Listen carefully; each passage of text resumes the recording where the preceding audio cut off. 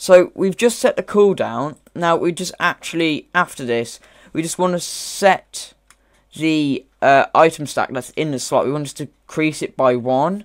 So that'll be this dot decrease stack size, uh, stack zero by one. So that's just going to decrease it by one. And then outside here, this is what's going to happen every tick. So the cooldown isn't zero. Um, now we're just going to add stuff to it. So this dot current RF plus equals increase per tick. So that's just going to add 20 RF per tick to it. But there's a problem with this. At the moment, when we close our world, it won't increase. It will reset, which we don't want. So, cool thing that we can do this dot mark dirty. Now, I, I didn't know about this before, but mark dirty basically says you need to save this. So, like, say when you move something in the inventory, um, it automatically is set to be dirty. That means that it needs to be saved. But, say if we're changing numbers in that lot, unless we say mark dirty, it'll just reset when we boot the world back up which isn't what we want. So we just want to mark it as dirty. So that should be all in our tile entity. I've got the normal container stuff here.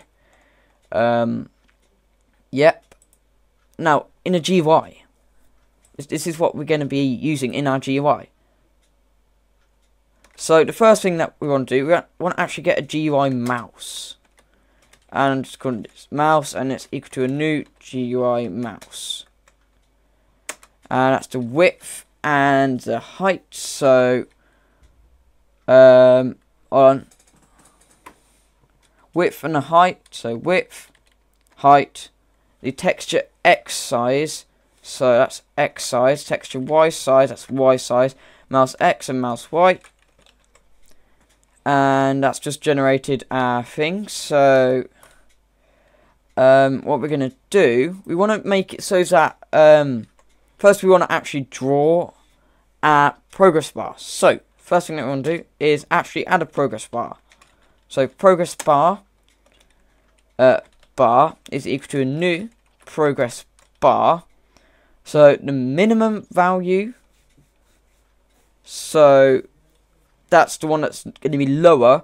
So, for us, it's going to be this dot tile entity dot uh, get field and let's just check here. Where's the get field method? Um, we want to get the current RF. So that's zero. Um, then we want to get the max RF. So that's what the max value is. So this dot te dot get field one. And then the type is progress bar dot. And as is going to be um, top to bottom. So, I'm recording. I know. So that should set up our progress bar. So now we want to bind the texture. So to do this, we want to do this dot mc dot get texture manager dot bind texture, and it's going to be a new resource location, and it's just going to be boe colon uh, textures slash GUI slash container slash uh, redstone underscore generator dot png. So that's pretty much like what we've done up here. We just bind the texture, but we actually want to draw a uh, textured model rectangle to which will go on top. So um, I'll just show you my texture to begin with. So if we just locate my texture that I've made, this texture right here as you can see, I've actually got this blank thing. So this will be over the top of it automatically.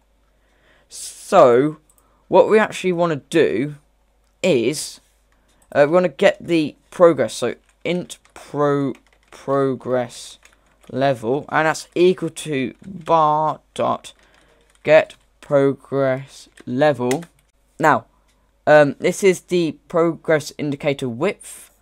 So the width of this is um, 20. So the width for this is 20. And the height is 51. So let's just change the height to 51. And that will generate our progress level. Now we need to actually draw it. So um, if you're doing top to bottom or bottom to top, you will be doing something like this. So we want to this dot draw textured model rect and it's this one so the x and y coordinates of it so it's going to be right here so 145.20 145 by 20 the texture x and texture y um, is I think we need the bottom left so that's 180 71 so 180 71 and now this is the um, size so the width and the height so don't know why it's done that. So the width and the height.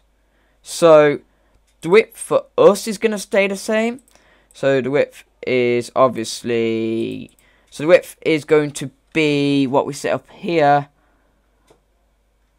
which is 20 and the height of this is in fact going to be 51 subtract progress level. And then that will actually draw a bar on it. But like, we can't really tell how much RF is in our um, actual thing. So, I'm going to actually put like a hover text on it. So, I want to do an if statement and if mouse dot get actual mouse x dot. So we're getting the actual mouse x is bigger than so checking the mouse x is bigger than um bigger than 144 bigger than or equal to and mouse dot get actual mouse. Mouse dot get actual mouse. X is smaller than or equal to. And then it's this one right here. And that's 166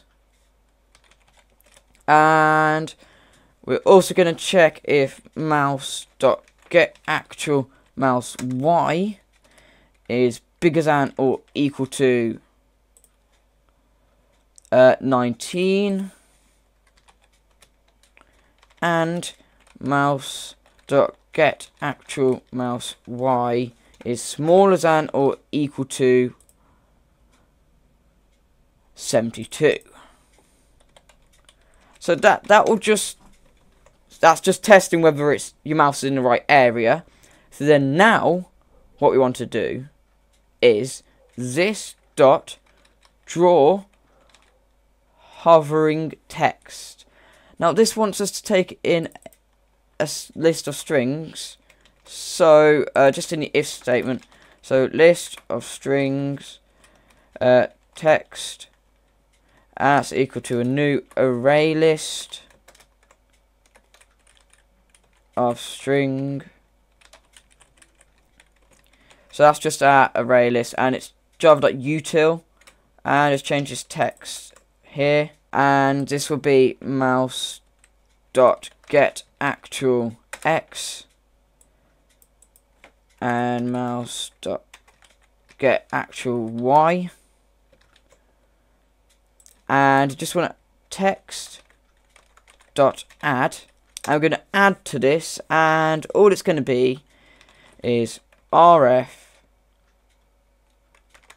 is going to be the amount of RF. So um, it's this dot te dot get field zero, and going to say RF out of. And then I'm going to get this dot te dot get field one. So the max RF. And then this should all now work. So let's just run our game, and fingers crossed everything will now work.